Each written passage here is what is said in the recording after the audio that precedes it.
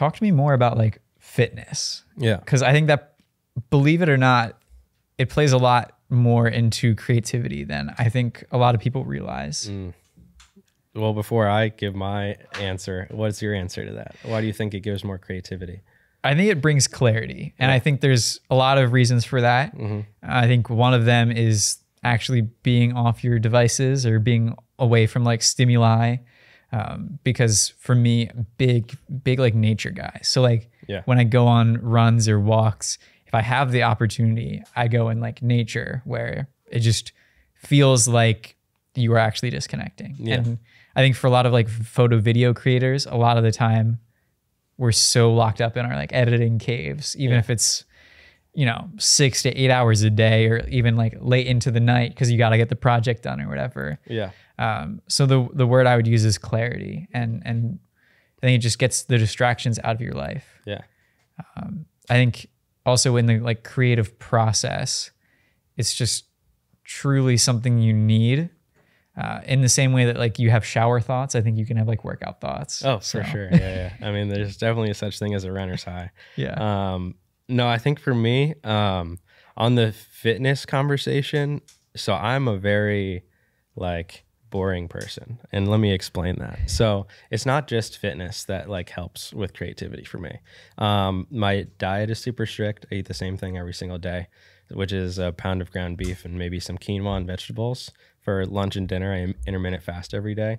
And then I have like the same beverages, which is like coffee in the morning and then water. okay. And then can't forget Keep it going. You can't forget the banana and peanut butter to wrap that's up the that's a good combo. Yes, that is the best combo. Um, and I'm fine eating that every single day. Yeah. Um, and then my like I literally wear black all the time. Yeah. And like I don't put too much thought into like what I'm wearing ever. Yeah, the- Um, the Steve Jobs like minimalist, less Yeah. decisions kind of feel. Yeah. I mean, there's other reasons, but especially for like the clothing, I feel like for me too. And so basically, like I'm trying to on this clarity conversation, like I'm trying to take as much like decision making out of like my day to day Yeah. routine to leave as much bandwidth available for the things that like I'm working towards and that are more more important to me than like what flavors are on my food or like what I'm Sure. craving or Yeah, whatever. yeah. Like I've just like completely yeah, kind of like simplified everything. And then on the workout thing, like I would I grew up an athlete and working out every single day in high school, college, that kind of thing. And then you get to be an adult and you kind of taper off usually usually. And you're like, "Oh man, I'm wondering why like I'm getting so stressed out." Like, "Oh yeah, maybe my life is a little bit different. I'm married now, I have kids now, I have a full-time job. Maybe there's a so much newness in your early 20s that like maybe that's what's stressing me out." But then I was like, you know what? Like, I need to go. Like, when I was my happiest, I was like working out, you know, Yeah. often. And so it's like before I was on, well, I was on anxiety meds for a little while, but then I got to the point where it's like, I don't want to do that either. Have a, I don't want to, I want to stay as, as natural as possible. Um, so like medicine's not something that I was an option for me anymore. And so, yeah, I was like, got back into a routine of working out five to six times a day and like that's like changed everything and like it, it started obviously with you know podcasting how how else could i distract myself or learn something so i'm not like quote unquote wasting time yeah.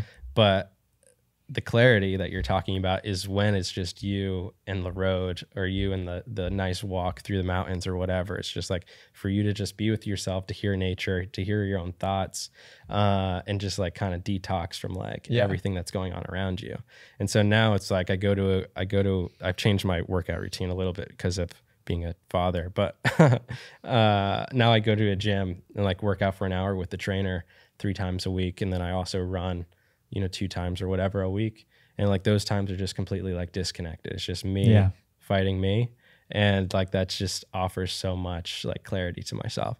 And I think too, like that has to do with who humans were like built to be. Like right. I don't want to throw Adam and Eve in, into this, but was Adam and Eve like sitting on their computer swiping Instagram 24 7? Or were they out like trying to figure out how to feed themselves for the day? Yeah. and how much physical endurance was involved before we had like all of this stuff. Right. And you know, I I'm not suggesting we all go back to living caveman lives, but we got to move our bodies. We need to put ourselves under some form of stress. I'm not talking about working overtime. Like you, your body is built to like be under um, a large amount of stress, and so if you're able to do that, then your body's able to create the necess- necessary chemicals it needs to feed your creativity, your positivity, your overall outlook on life. And I think honestly, if you work out, you're a better person. Oh, 100%. I Also, I, get rid of soda, please. Ooh, dude, I mean, I don't like soda, so I'm already like kind of pre-qualified for that. But yeah, that Yeah. like sugars and all that stuff. Oh, That's yeah. a whole other conversation. yeah, but I mean, yeah. we'll- we'll- I'll Eliminate touch- stuff. One thing I'll touch on before we have to wrap this up is yeah, on the food topic, definitely if you're you have a partner or you live with someone, you know, not everyone sees sees not everyone just wants to eat chicken and rice every day. Sometimes there's some compromises. So our deal is there's no soda, no other drinks except for water in the house, and um, but then if we go out for dinner and I like grab a drink or a beer or whatever, then she's allowed to have a soda.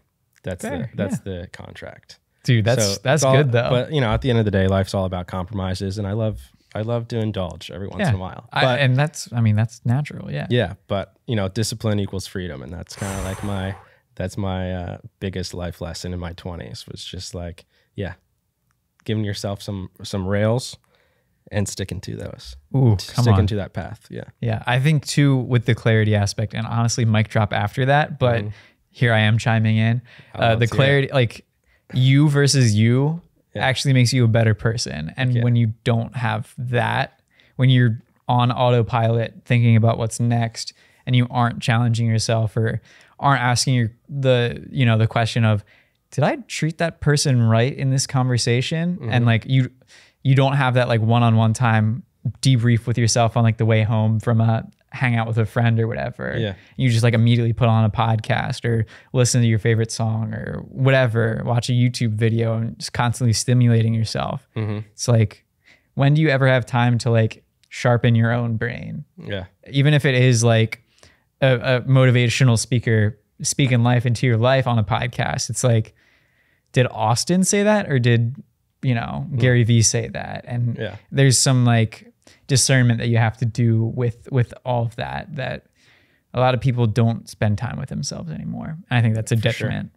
Yeah, every every morning for like the last two years, I film a video journal on the way to work, and it's sometimes it's two minutes, sometimes it's ten minutes. That's probably why I have no storage on my phone. but it's just like me talking to me slash praying, and um, yeah, looking back at like what I was sounding like and what I was talking about and cared about two years ago versus now is insane.